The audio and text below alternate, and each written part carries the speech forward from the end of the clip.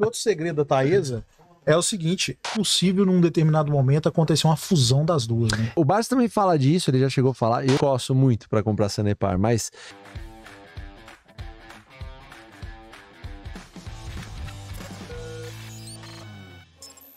outro segredo da Taesa é o seguinte: eu tava pensando sobre isso, Fabião, esses dias, que cada vez mais temos aventureiros nos leilões. Verdade, total. Né?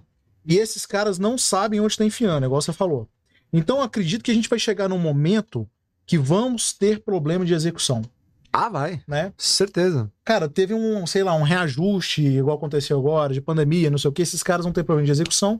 E eu acho que é muito provável que essas empresas que têm expertise nisso, Taesa, Transmissão Paulista, Lupar, etc., fala, não, beleza, M&A. me dá aqui, faz o que chama de brownfield. Sim, M&A. Né? Fusão Então, faz, a, faz a- a fusão né, com esses caras que estão já em execução, Perfeito. alguma coisa. Então, eu acho que isso vai ser muito comum, cara. Vai, é, eu, eu, acho que isso não só vai se tornar comum, como talvez se torne algo, se continuar esses leilões, com, deu uma melhorada ultimamente, né?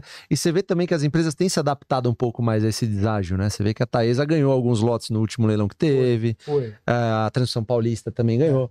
Mas, cara, é, empresas como essa, até, até é, respondendo, Henrique, você- você vê que são empresas que são assim, é tão previsíveis, são meio que reloginhos suíços, É. que vão sempre estar te pagando dividendo. E quando não forem estar te pagando dividendo, eventualmente, é porque estão investindo para pagar mais dividendo no futuro. Isso sempre aconteceu na história dessas empresas, né, Jean? Então, É, e deve estar um monte de gente perguntando ali, que a gente não tá olhando, né? E a subscrição? ah, Taesa? subscrição da Thaisa. Fala, Jean. Não, eu, eu- assim, a minha É visão isso, é mano. que a empresa executa bem. Deixa o like aí, ajuda a gente. Quem não é inscrito no canal, se inscreva no canal, deixa o like. Né? Mas acho que não seria o momento de fazer subscrição. Primeiro ganha.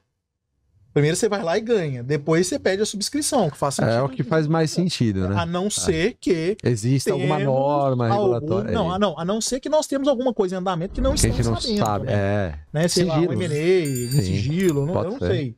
Né? É, o, é o que eu imagino, mas a gente tá na empresa tem muitos anos Sim, e nunca sim. tivemos problema, né? A empresa sempre foi tão disciplinada, né? Sim. Aí que você recorre ao histórico, né? Pessoal, é, é uma subscrição não é, não é algo ruim, tá? As pessoas acho que tendem a imaginar isso. É que ela pagou tanto dividendo, as pessoas. É natural que as pessoas perguntem assim, porra, por que, que pagou tanto dividendo se sabia que ia fazer uma, uma, sei lá, precisar de dinheiro? A questão é, e se ela não sabia que ia precisar de dinheiro, porque não, não sabia o projeto que, que apareceu, pode ter surgido do nada. É uma boa enfia- se enfiar, a- ajudar a financiar essa, essa, esse novo projeto? Talvez, dependendo do preço. Então não é algo ruim. A empresa faz isso geralmente para crescer ainda mais. Teve agora há pouco com a AS. A AS Brasil fez uma subscrição, o mercado não gostou, que bom que não gostou. As ações Aí caíram caiu. pra caramba, que bom que caíram. Se você gostava da empresa e queria ser mais sócio, é oportunidade para você comprar ainda mais. É o. Geralmente é assim que funciona. Tem mais perguntas, aí tá chegando É, um. Só, só finalizando com a Taesa, é, eu fiz uma reunião com a RI da Taesa esses dias. Sim. Nós, nós do AGF. Você, Sim, sim. Mas eu, eu senti uma preocupação muito grande do RI em transmitir a informação correta Pro acionista, né? é, acionista pessoa física. É. Acho que cada vez mais as empresas estão preocupadas com isso. Eu acho que é muito importante essa comunicação. Né? Então, eu gosto quando tem essa empre- empresas que preocupam. Empresas que estão se lixando para acionista. Já, tem né? Mas a- como a base de acionistas da, da Thaís é muito grande na pessoa física, Sim. existe sim essa preocupação de comunicação. Sim. Então, a- sabe que ela é pagadora de dividendo, que isso é importante para as pessoas, né? Que é aquela ação de viúva que todo mundo fala. Então, a gente gosta muito da empresa e confia na gestão. Foto gostaria de saber por que, que Mineiro. o Fábio e o Jean ainda não são meus sócios na Sanepar e por que, que o Fábio não é meu sócio e sócio do Jean na transmissão paulista. Um abraço. O- Depois que vocês responderem, eu vou, eu vou fazer uma, uma, uma pergunta bem legal pro Jean, que é sobre o TRPL4. Mas fala aí, pode responder. Não, eu, eu, eu não sou sócio dele e do Giana Você não tem TRPL4. Sanepar, né? Sanepar, não, mas olha, mas eu vou te dizer, viu? Eu coço muito para comprar Sanepar, mas eu não sou sócio deles na TRPL4 porque eu sou muito sócio na Taesa. Eu tô- Você focou em uma, né? Eu foquei em uma. Então, assim, eu tenho objetivo na Taesa, que eu, eu alimento desde 2014. Eu tenho a Taesa desde 2014 na minha carteira. Era a Taesa, a FIP Coliseu, quando lançou em 2008, se eu não me engano, a IPO. Taesa já bateu 80 reais já. Caramba. Ela desmembrou tal. E eu tenho ela desde 2014, pagando 14 reais na carteira. Então, dos 14 ao 20, que era o meu preço teto na época, eu passei praticamente alguns anos, com alguns vários anos, comprando só Taesa praticamente.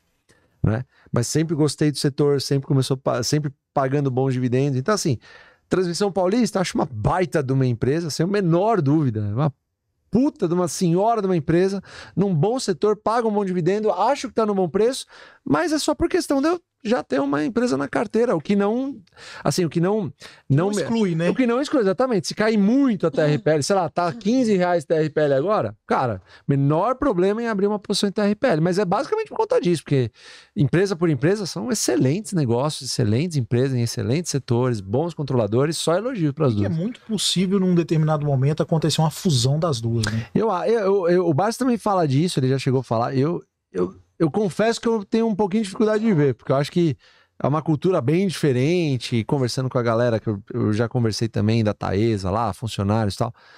Pode ser que aconteça, né? É, por exemplo, se o governo de Pode Minas ser. conseguir vender a participação da CEMIG, Na Taesa, é, Taesa, fica direito mais. de preferência da transmissão. Sim, sim. Né? Então poderia acontecer isso, né? Não sei. É, o controlador é igual, né? A Isa É acaba controlando as duas, então É verdade, é uma possibilidade. pode, pode acontecer. Agora, assim, Sanepar, eu, eu, eu tenho uma dificuldade de ver ainda a questão das empresas cumprindo o marco de saneamento, sinceramente. Teve uma mudança agora, recente aí, né? Parece que o Lula mudou algumas coisas, parece que complicou. Então, assim, eu, eu já tinha falado isso com, com você, eu acho que eu falei isso com o Luan da outra vez que eu tive aqui.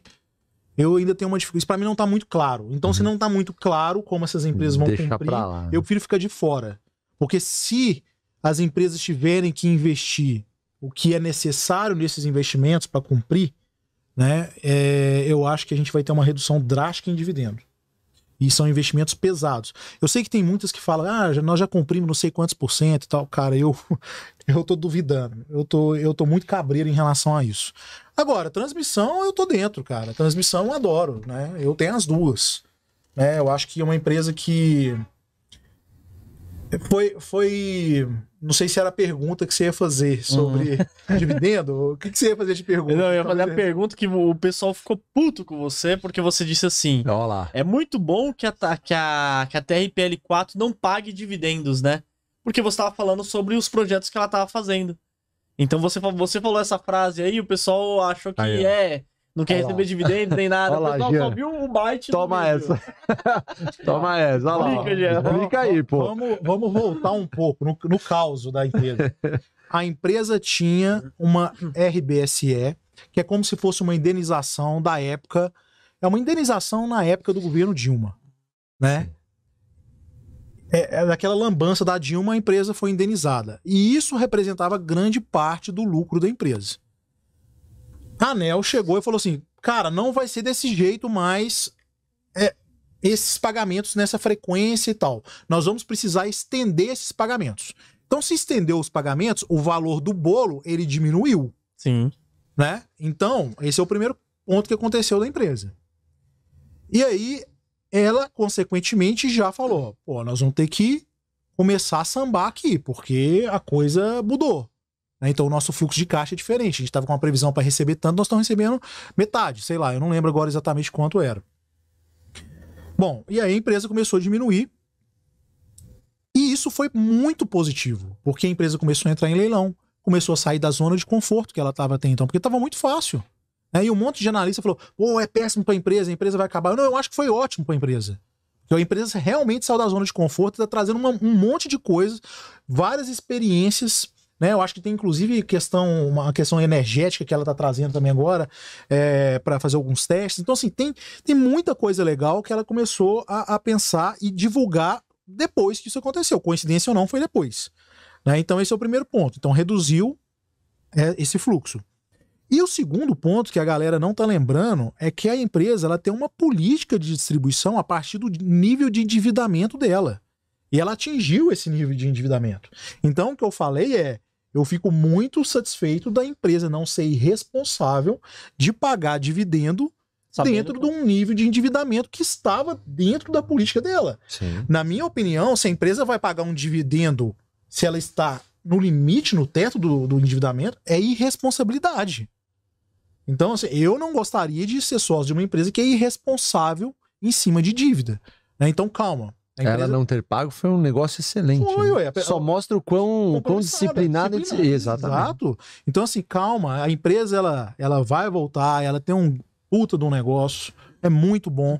Né? Mas é paciência. E, e não existe empresa que vai pagar, pessoal, dividendo a vida inteira. É, né? Não, não existe empresa Em que vai momento, crescer é. a vida inteira, senão ela vai dominar o mundo. É, exato. Né? Não, e, e você pega, você deu um exemplo muito bom, mas você pega a transmissão paulista, aí que tá. Por isso que é legal você ver o empilhamento, né? E ver como um vídeo. Pega o quanto que a transmissão paulista pagou nos últimos cinco anos de dividendo. Cara, dá uma pancada, velho. Dá muito, dá muita grana. Muita Ah, grana, na muita média, se grana. não me engano, é 8. É muito 8%. dinheiro, cara. Então, assim, você tá num sócio que, porra, é sólido pra caramba, é perene, paga dividendo. Cara, é- a gente tem que confiar um pouco nos controladores, né? E no histórico também. Pô, É, se você me perguntar assim, em quem você confia mais como controlador? Eu falo como gestão. Não controlador, tô falando da gestão. a gestão mesmo. Em gestão, transmissão paulista ou Taesa? Eu prefiro a Taesa. Né? Mas são ambas empresas inseridas em um excelente segmento, Sim. né? Que é de transmissão. Nós temos basicamente essas duas empresas mais consolidadas. A gente tem uma Lupar, que o pessoal tá gostando um pouco ainda, mas eu não sei, eu não. Eu ainda prefiro as duas aqui como opção. Né? Mas é, é entender que é momento da empresa e você precisa estudar. Porque você tem que se perguntar: por que, que aquela empresa não está pagando, pagando dividendo? Qual o motivo? Deve ter um motivo. Se ela tem um histórico. Pode ser que ela nem pague dividendo esse ano direito, né? Pode ser que o ano que vem volte. Então, assim, eu acho que tá- a transmissão vai voltar a pagar bem 24, começa alguma coisa melhor, 25. Eu acho que é por aí. Essa é a pegada. Temos mais, Ó, né? Tem uma pancada. E aí, mais uma coisa, a oportunidade. Aqui. todo mundo falando mal, que a empresa não sei o que, que vai quebrar, que não sei o que mais. Deixa cair, deixa cair que a Exato. gente compra. Né? Os Pode analistas todos falando, de, não sei, então deixa cair que a gente compra. Então é isso. Mas você tem que entender o que você está fazendo. Verdade. Você tem que entender qual é a estratégia da empresa. Não tem, não tem jeito, ninguém vai fazer esse trabalho para você.